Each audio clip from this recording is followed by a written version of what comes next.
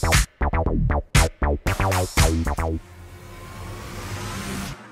You enjoyed the video, don't forget to like, subscribe and hit the notification button to stay in touch for more videos like this. Molten is a system that relies on players having good mental attributes to exploit space. Based loosely on the Liquid tactic, it differs slightly on the application. While Liquid depends heavily on player traits, Molten instead relies on FM20's match engine, which favors higher tempo systems. Molten plays aggressively in the opponent's third, utilizing the split block and sets defensive line traps in midfield. Balls through the middle unlocking defenses will happen if you have chosen the right players. In midfield, Molten uses a playmaker and an inverted winger on opposite flanks to move opposition teams around. The inverted winger will drive into the box and look to slip balls inside. Alongside him is a Mezzala who can also do the same, but his job when he gets the ball is to switch the attacks to the other flank when inside forward is prepared to drive at defenses. Let's take a look at some of the roles and duties in the system. It's loosely based on Liquid from FM19. We have an F9 who drops deep and also roams from position. We have an inverted winger who's been told to close down more tackle harder, mark tighter. inside forward does exactly the same thing. But in midfield, central midfield, these two players have been told to close down more and tackle harder, but they've not been told to mark tighter. The AP and the Mezzala. The Mezzala has the added instruction of dribbling more. In defense, we are using a fullback who's been told to take fewer risks, shoot less often, and an inverted wingback. The rest of the roles do not have any PIs on them.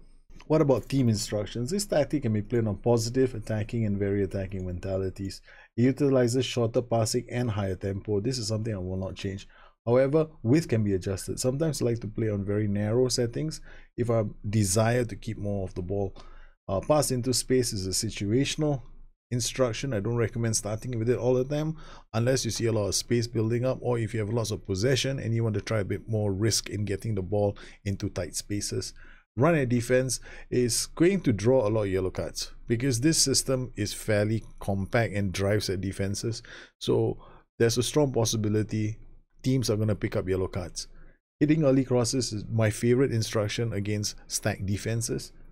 Then we have distribute the fullbacks as well as the counter press and counter.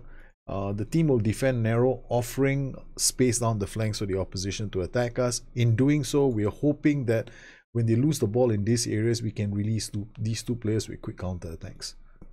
When I left this to the ass man, I told him to play with a much higher line of engagement and a high defensive line, and he won the title and the Champions League with it. So maybe it does work. Are there any player traits that I would recommend? I would recommend that you get a Mezzala who has switch balls to other flanks. And I would also recommend that you find a way to give your inverted wingback the ability to play killer balls because he is going to be in a very dangerous position when he enters this area of the pitch. One thing I noticed about this tactic everybody's a winner. Everybody's going to get a chance to score goals apart from the goalkeepers. So if you want the goalkeepers to score goals too, then all you have to do is ask them to take penalty kicks. The set pieces in this system are pretty basic. We've got both the central defenders attacking the box. For indirect wide and indirect deep systems, we've got both the um, central defenders attacking the near post and the far post. As far as attributes are concerned, if you're aiming for success in the Champions League, nothing less than 15 for key attributes. The key attributes for the inverted winger, for example, should include dribbling, first touch, passing, vision of the ball, decisions, anticipation, agility, and acceleration. Because you're playing with a higher defensive line, work rate is going to be very important because your backline is going to be going up to its support attacks and getting back to defense. So acceleration and work rate cannot be less than 15. The inverted winger and the inside forward are going to be scoring goals plus creating goal scoring opportunities for everybody else. So you definitely want players here with intelligence and good off the ball. So off the ball, anticipation, vision, decisions, passing, crossing, dribbling, finishing, composure, balance, agility are all going to be important attributes to consider. This tactic can easily be modified for teams that are a lot weaker. all you got to do is turn this guy into a pressing forward and turn this guy into an inverted winger on support and swap the AP and the Mezzala so that you get most of your creation on this side of the flank. This way you can unlock the right flank with attacks. So it's a pretty moldable system that you can use with quite a few teams.